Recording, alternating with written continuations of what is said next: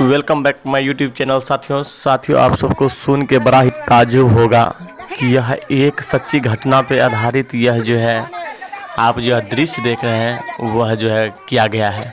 साथियों, आज से 12 साल पहले जो है बारहरा प्रखंड के बरहरी गाँव के अंतर्गत यह जो है घटना हुई थी।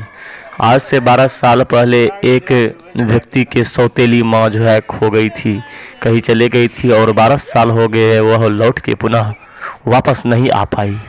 जिसके वजह से उसके घर में जो है, उस व्यक्ति के जो है दो तीन संतान दो तीन जवान जवान बेटा जो है, उसका निधन हो गए, मर गए।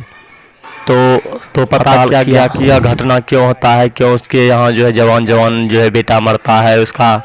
तो उसमें यही मालूम हुआ कि आज से बारह वर्ष पहले जो है इनकी माँ जो है सौतेली माँ घर से बाहर निकली थी और वह लौट के नहीं आई है। उसका लगता है मृत्यु हो गया है मर चुकी है।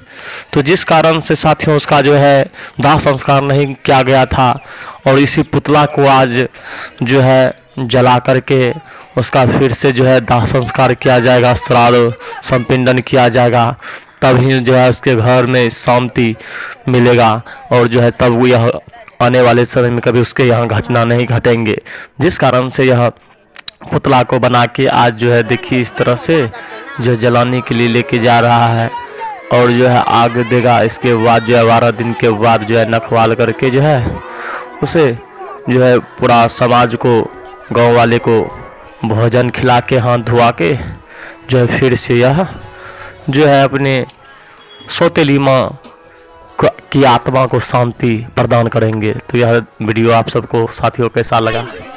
आप सब जो है लाइक शेयर कमेंट ज़रूर करें। धन्यवाद। और आप सब बने रहें। अगर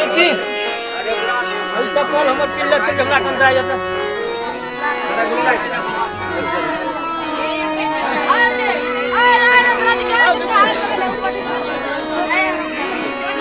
बिंदु आज आज इतना लगता और अमल किया